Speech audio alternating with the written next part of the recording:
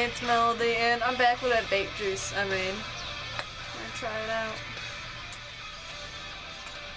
Doesn't have any nicotine in it, but oh well. smells really good.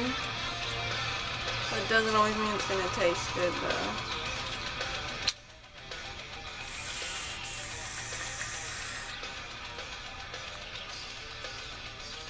It's pretty good.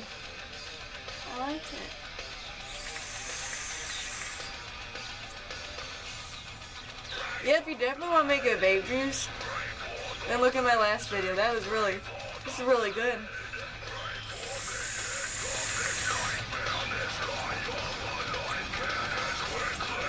And, well, that's it.